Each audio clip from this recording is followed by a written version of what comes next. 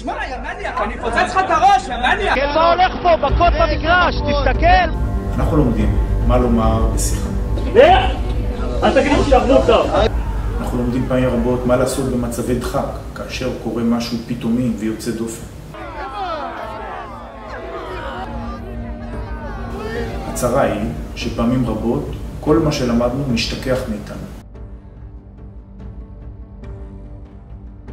אנחנו מגיבים באלימות יתרה, אנחנו מגיבים בתוקפנות.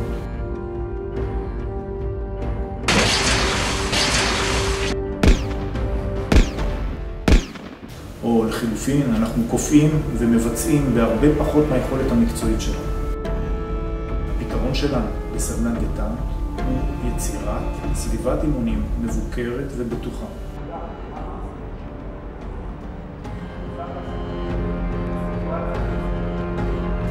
בסביבת אימונים זו אנחנו לומדים טכניקות שמשפיעות על הרגשות שלנו, משפיעות על התהליכים הקוגניטיביים שלנו בעזרת מצבים גופניים.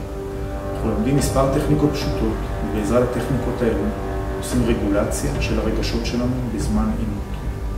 זה לא רק שהמוח שלנו שולט במוטוריקה שלנו, המוטוריקה שלנו שולטת במוח. הרעיון הגדול של הדטנט הוא הרעיון שאנחנו משתמשים בלופ הזה.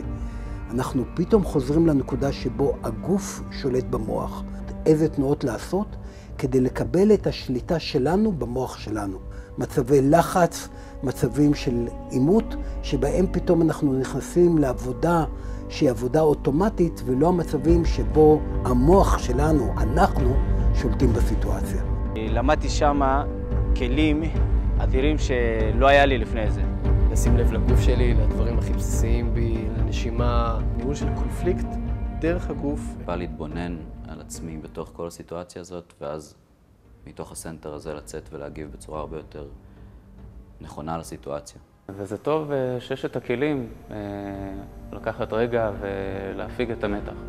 שאפשר להפוך מצב מקצת מעצבן למצב שיפעל לטובתי. להחליט לא מהלב, אלא מהראש, לקבל החלטות נכונות יותר בכל החתכים בחיים. העמסתי את זה עם המשפחה לראות אם זה עוזר, וזה עזר לי.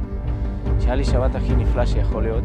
קונפליקטים זה דבר שהוא יומיומי, ואפילו בתוך המקומות האלה השימוש בגוף היה בשבילי כלי שנכנס מיד לתוך החיים.